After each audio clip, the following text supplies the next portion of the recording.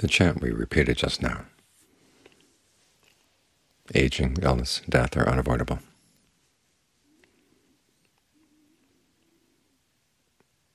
In Thai is translated as aging, illness, and death are normal.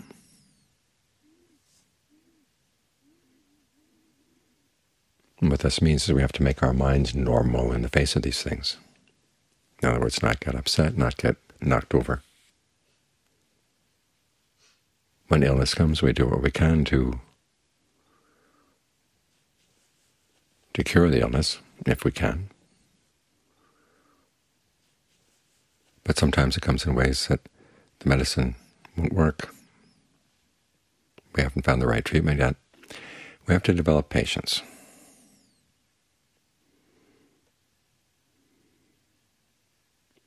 Patience means that we have to have faith as well, faith that what the Buddha said about aging, illness, and death is true, that the body grows ill, gets old, and dies.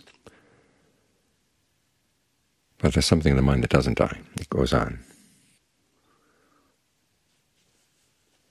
And from his perspective, we've died many times. And here we are.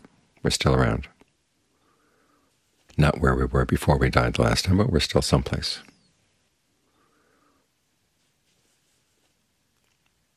Now you have conviction that death is not the end. Then you can face aging and illness a lot more easily as well. The question is you want to face all of them skillfully. And as I said, the main skill is learning how to keep your mind normal in the face of these things. We hear many times about how if you're going to die well, you want to be alert, mindful. But it also means you can't let your emotions come in and stir things up. And of course, while you're dying, it's very difficult to fight things off unless you've had practice. This is one of the reasons why we meditate.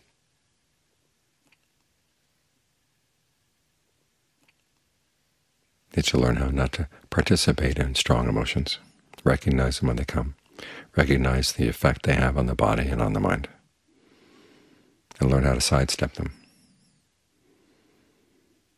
So when an emotion blows through, just let it blow through.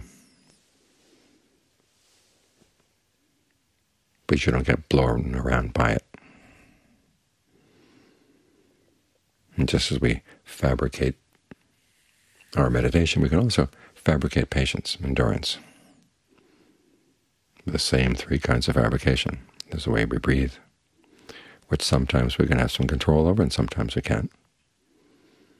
When we can, we use it to keep the mind calm by breathing calmly, even though the heart may be racing.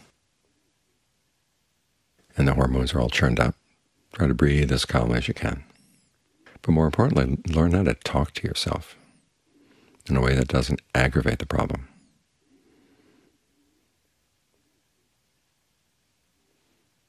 Think of that monk who, in the time of the Buddha, was going to go off to a uncivilized part of India, and the Buddha said, you know, the people there are very uncivilized. What are you going to do if they yell at you? And the monk said, well, I'll say these people are very good and civilized, and they're not hitting me. What if they hit you? They're very good and civilized. They're not hitting me with a stone. What if they hit you with stones? They're very good and civilized. They're not stabbing me. What if they stab you? He's very good and civilized, and they're not killing me. What if they kill you? In that case, the monk said, well, at least my death wasn't a suicide. And so as you're sitting through, say, a really bad migraine or a really bad panic attack, or your heart is beating all over the place, strange rhythms, remind yourself at least you're not dying. And if you are dying, at least you're dying alert, which means you're ahead of the game. Things come up in the mind and you can see them. So learn how to talk to yourself in a way that puts the mind at ease and doesn't stir up trouble.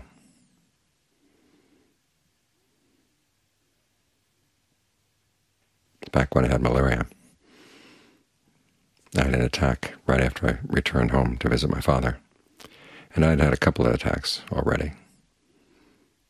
Your body shakes for about an hour and you have this intense, intense fever, although you feel very cold. I was beginning to feel the attack coming on, and so I went to see a doctor, and the doctor said, well, if I didn't know your history, I'd say you probably had the flu, but go down to the hospital. Just as I walked into the lobby, I started shaking. So immediately they put me in an emergency room, and all these interns who were just getting started put on masks to come in and see what a real live malaria case was like. And here I am, shaking on the table, with a whole line of doctors looking at me. You can imagine what my father thought. So I had to comfort him. Say, look, this is going to last for an hour, and then it's going to stop. Then I'll be okay. That's the attitude you have to have, whatever the attack is that's coming on you physically.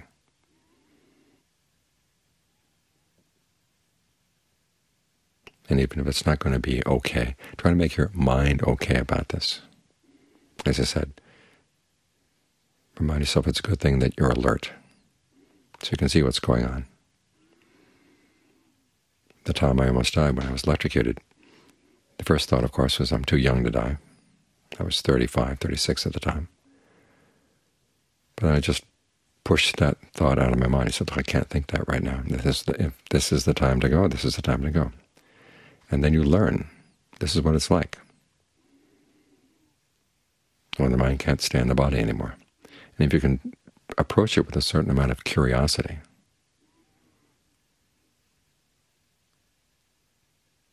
you find that it's not overwhelming, because that's the important part. When people are overwhelmed by death and they just grasp at anything. But when you're not overwhelmed, you realize you have some choices, and you can make them more wisely. Fortunately, the current went through me only very briefly. So I'm here to tell the story.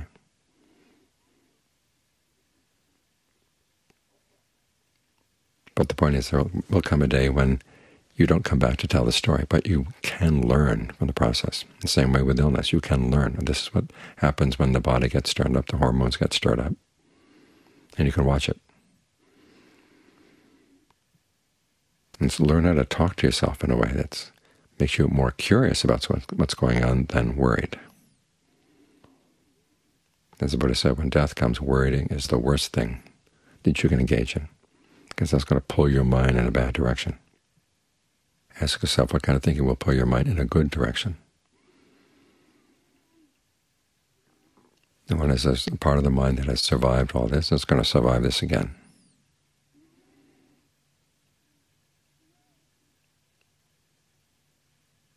And as I said, look at it more with curiosity than with worry.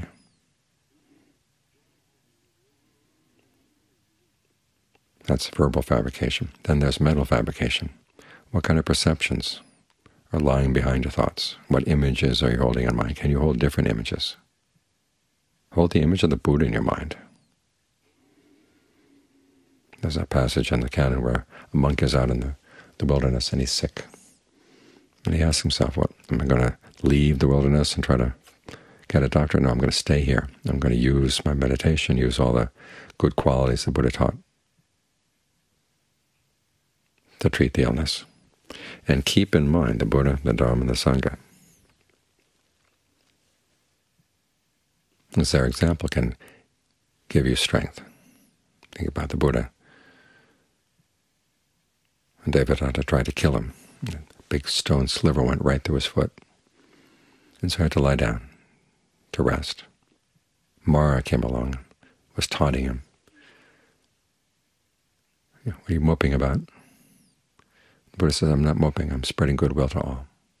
So that's a perception you can hold in mind, just may all beings be happy, instead of sitting there thinking about how miserable you are, stuck with this body that's malfunctioning. Your mind can still think thoughts of goodwill. So spread them in all directions.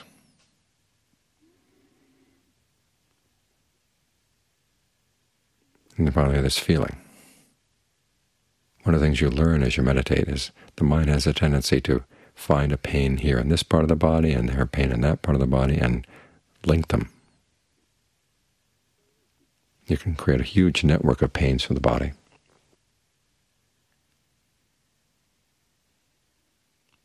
And so try to cut through them.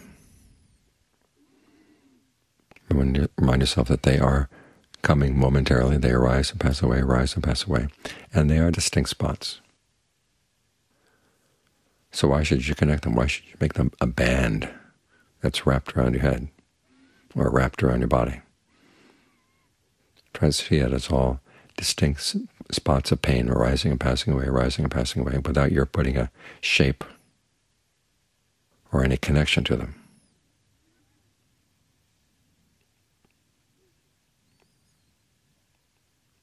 And as for the question of how long that particular illness is going to last, put that out of your mind as well. Again, this is a lesson you can learn from the meditation.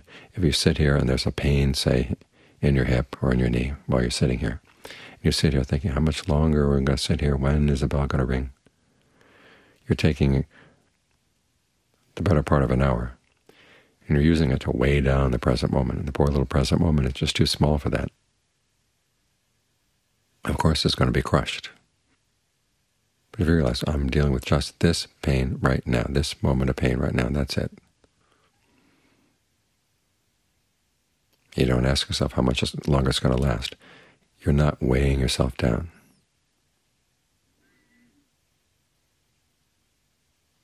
So in this way you find that even though you may have the karma to have an illness, that's your past karma. Your present karma doesn't have to contribute to it. So look at your present karma, the way you fabricate your breath, the way you fabricate your thoughts, your perceptions and feelings, and see what you can do to give yourself a place of refuge in the face of the illness. So your mind can stay normal in the face of the illness.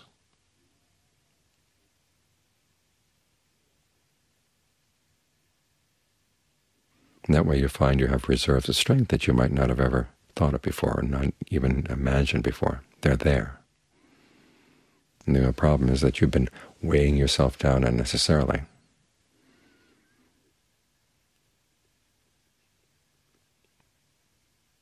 But when you re remove that weight, you find that things are a lot more bearable and a lot more normal than you would have expected.